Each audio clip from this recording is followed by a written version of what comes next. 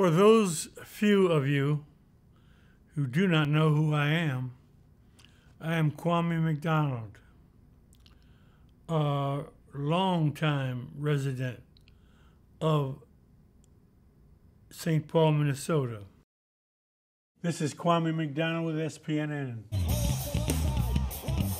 You know, one of the things that um, my grandmother, my auntie, my mother, my father's uncles, aunts uh, gave me was a sense that I had no limits. When I went to Ghana, West Africa, in 1968, I had um, been so enthralled and thrilled uh, with my African past as I discovered it that uh, I wanted to maintain that, retain it to the extent that I could. And when we went to pick him up, um, he got off the plane. Um, he had an afro. He had on dark shades. He had on black gloves. He had on the dashiki, and he got off the plane walking like this. I wanted you at that time to be like every other dad. People were making fun of you, not to your face, of course. they were making fun of me. You did. You got up. You gave a speech. You did real well. You kind of brought the house down, and that kind of changed my whole outlook on what you were about because mm-hmm. I was confused up to that point. For me, arriving at a certain place, mm-hmm. becoming the star football player, becoming the Supreme Court justice, isn't really that important.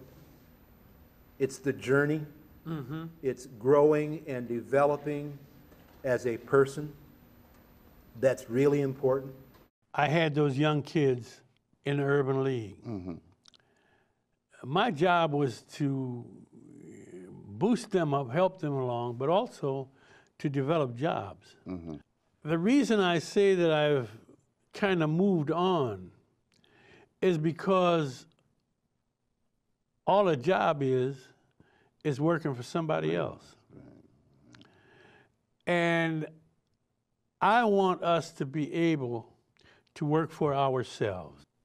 One of the things about St. Paul that is unique in other communities I've been in is its spirituality, its innate love uh, for self and each other.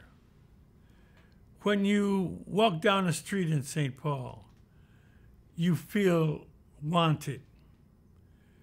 When you're sitting in a coffee shop in St. Paul, you feel wanted.